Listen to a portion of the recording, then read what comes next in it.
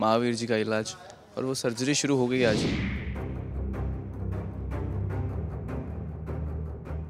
भाई जी आप बिल्कुल बेफिक्र रहिए।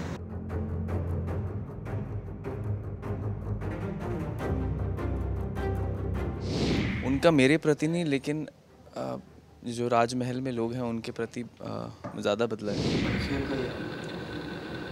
चिकित्सा में युवराज को चेतन अवस्था में जाने में सहायक सिद्ध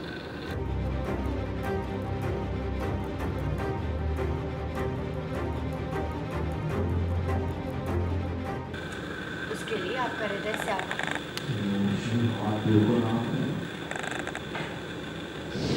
सर्जरी रूम था या सर्जरी रूम के बाहर था या फिर मंदिर था या फिर दरबार था? आपने जो गलती की है तो नहीं जा सकती। पर पश्चाताप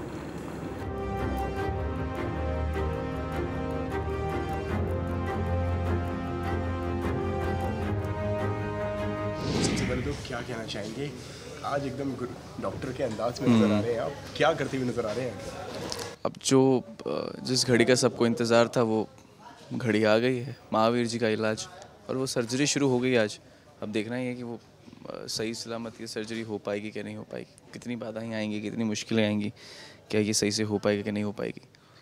बस वही देखना है। कई सारे लोगों का नेचर बदल गया है जिनका हम्म। ध्रुव के प्रति। उस पर क्या कहेंगे आप? उनका मेरे प्रति नहीं, लेकिन जो राजमहल में लोग हैं, उनके प्रति ज़्यादा बदला है। इसलिए वो चीज़ ज़्यादा इम्पैक्टफुल है।